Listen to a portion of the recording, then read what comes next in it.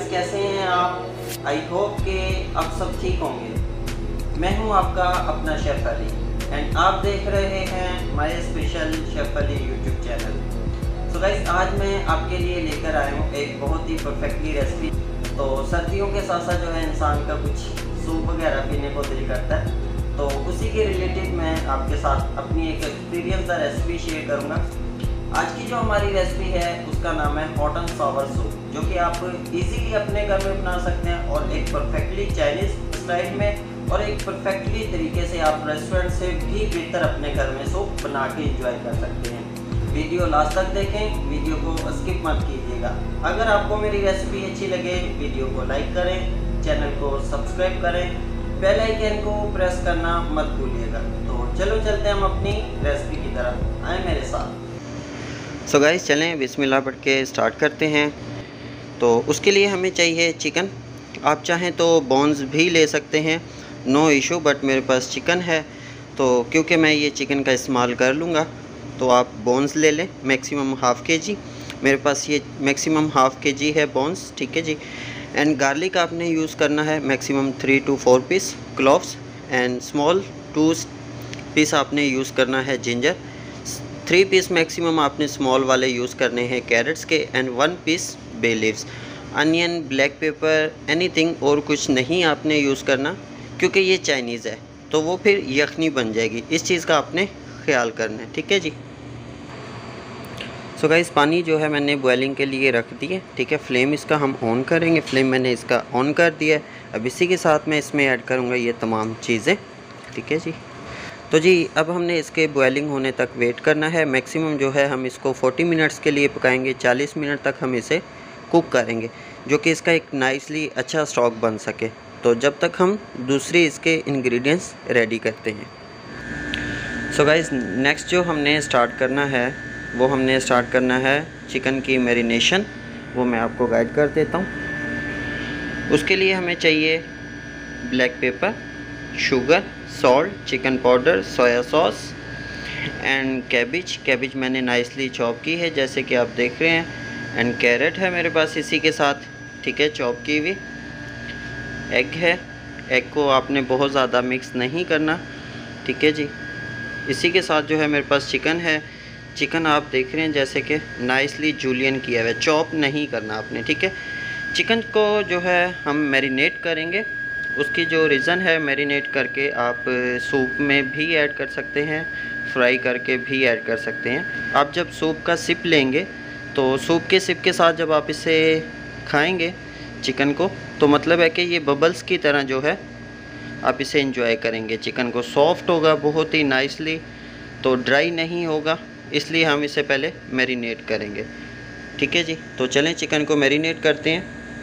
तो जी, सबसे पहले हम इसमें ऐड करेंगे चिकन पाउडर, जैसे कि आप देख रहे हैं, हाफ़ टी स्पून तो अब इसी के साथ हम इसमें ऐड करेंगे शुगर, हाफ़ टी स्पून ठीक है जी। Black pepper just maximum pinch, one pinch enough है। And salt. ठीक है जी। एंड इसी के साथ हम इसमें एग एग ऐड करेंगे। Maximum one tablespoon. इनफ है जी इसमें एग अब हम इसे अच्छे से मिक्स करेंगे। मिक्स करने के बाद हम इसमें ऐड करेंगे कॉर्नफ्लोर कॉर्नफ्लोर आपने ऐड करना है मैक्सिमम इसमें one tablespoon three teaspoon add करने हैं आपने, ठीक है जी?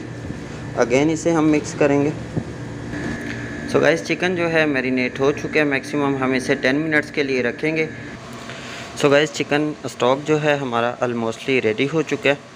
तो जैसे कि आप देख रहे हैं, कितना ही अच्छा बना है। क्लियर कितना है। बहुत ज़्यादा डस्ट नहीं है और बहुत ज़्यादा ब्लैक भी नहीं है। बिल्कुल वाइट है।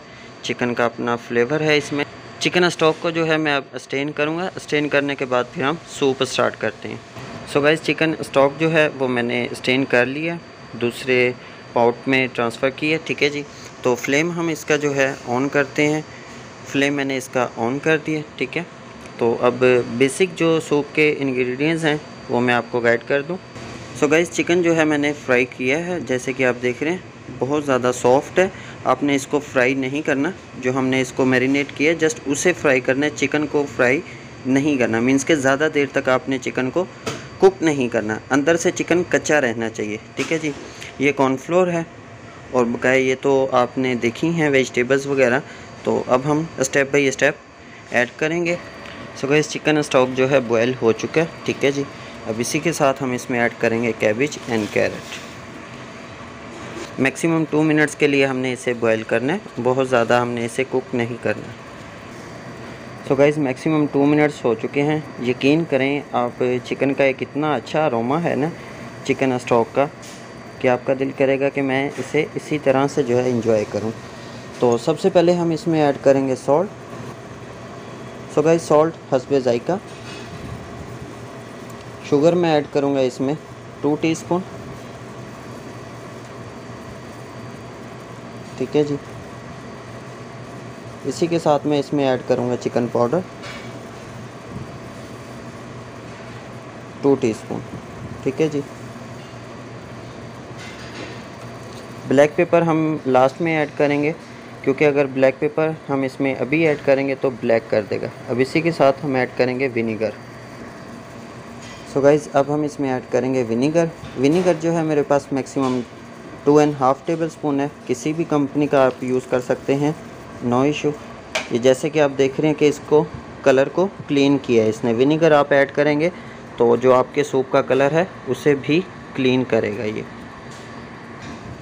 और सूप को क्लियर करने के लिए मतलब है कि कलर इसका अच्छा करना है तो आपने ये इसकी साइडों से स्कीमिंग करते रहना जो वेजिटेबल्स की डस्ट वगैरह या सूप की डस्ट वगैरह होगी तो उसको आपने रिमूव करते रहना सो गाइस अब हम इसमें ऐड करेंगे ग्रीन चिल्ली सो गाइस अब हम ऐड करेंगे चिकन ठीक है जी? सो गाइस अब हम इसमें ऐड करेंगे soya sauce maximum one tablespoon ठीक है जी? सोया सॉस हमने इसमें ऐड कर दिया। वन टेबल स्पून अब इसे अच्छे से हम कुक करेंगे मैक्सिमम थ्री मिनट्स के लिए। उसके बाद फिर हम इसमें ऐड करेंगे कॉर्नफ्लोर सो गाइस टेस्ट मैंने किया है। अल्हम्दुलिल्लाह, बिल्कुल परफेक्टली है। अगर आप चाहें स्पाइसी तो आप स्पाइसेस वगैरह का इस्तेमाल कर सकते हैं अपने स्पाइसेस के हिसाब से। अब इसमें मैं ऐड करूँगा कॉर्नफ्लोर ठीक है जी? कॉर्नफ्लोर जो आपने ऐड करना है थोड़ा थोड़ा करके ऐड करना है और इस तरह से आपने ऐड करना है। एक ही जगह पे आपने कॉर्नफ्लोर नहीं ऐड करना, क्योंकि वो फिर गुठलियाँ बन जाएँगी। उसके बाद आपने इस तरह से इसे हिलाना है। थिकनेस के हिसाब से आपने इसमें कॉर्नफ्लोर ऐड करना है। बहुत ज़्यादा कॉर्नफ्लोर आपने नहीं ऐड करना।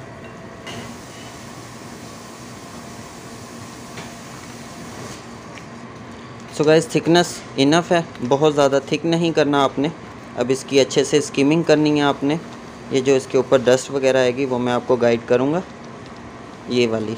ये इस तरह से आपने इसको रिमूव करते रहना है। फ्लेम हम इसका करेंगे मीडियम टू लो क्योंकि अब हमने इसमें ऐड करना है एग सबसे पहले हम इसमें ऐड करेंगे ब्लैक पेपर उसके बाद फिर हम इसमें ऐड करेंगे एग पेपर जो है, हमने वन टीस्पून ऐड करना है, ठीक है जी?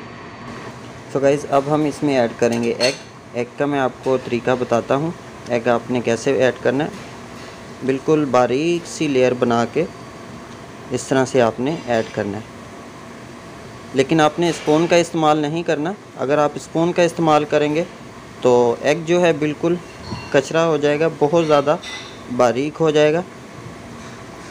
अब आपने इसको मैक्सिमम वन मिनट्स के लिए जो है कुक होने देना है.